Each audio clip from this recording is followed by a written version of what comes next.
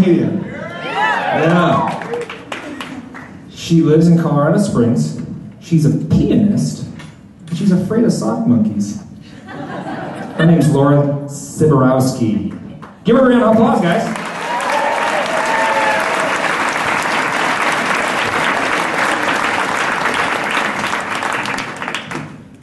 Hi.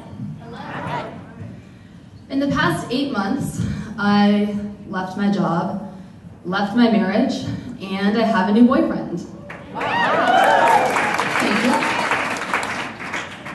Naturally, some people are worried that I'm moving too fast. My mom, my best friend, my boyfriend's ex-wife. I could tell because she poked me on Facebook before she blocked me. Oh, the old poke and block. I wish I'd thought of that. Nobody warns you about rushing into a new job. Nobody says, whoa, slow down, spend some time alone with no money. so I'm being careful. I told my new boss, look, I like you. Let's just have fun. I'm seeing other jobs. I'm practicing safe employment. I hated being fired. They called it a mutual termination. How does that even work? Is that like committing mutual murder, but one of us gets to keep living? Okay, got it. So at the exit interview, I decided to treat it mutually. What could you have done to have kept this employee? Well, I'm putting you on a probationary period. While I'm walking you out with a security guard, here's your box for your things. I'm going to send you down an alcoholic spiral. I was married for five years, no kids, much easier that way. Our biggest decision was, do you want the IKEA lamp? No. All right, done. I miss some things about being married, about being married, like trash service.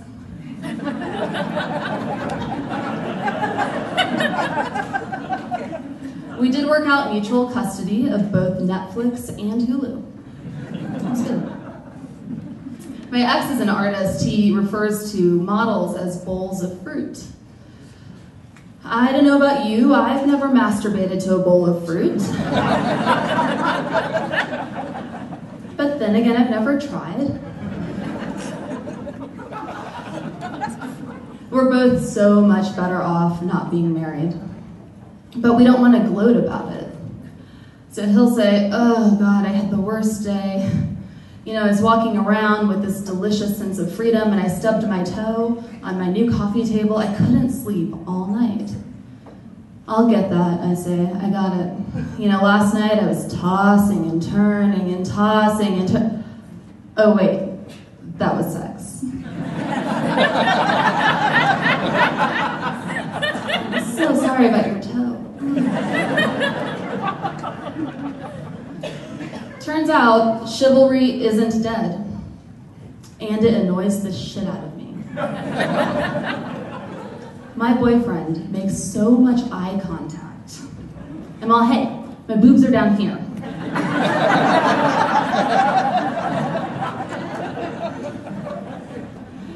Turns out I'm a really shitty feminist. I know because I once Googled, can you one night stand your way into self confidence? There were no results. Should have clicked, I'm feeling lucky. I like the values of feminism, but not the label. You know, just conjures up this image of man hating, chip on your shoulder. Of course, I do hate men and have been wronged by them in a multitude of ways, but don't put me in a box.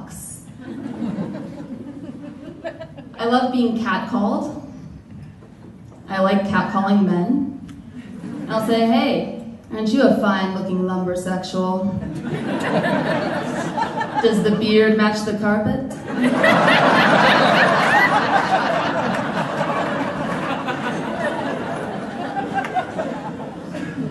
I have a friend who's a really good feminist. She recently got a tattoo of a clothes hanger with the words, never again. I know there's no dumb questions, but did a dry cleaner really ruin a shirt or something?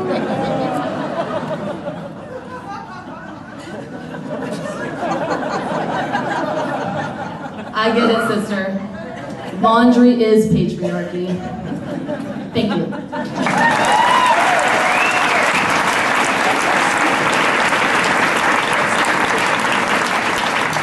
Up for Rick- Lauren Simonowski again, guys. Yeah. Good job. My beard does match my carpet. It's like Count Dracula.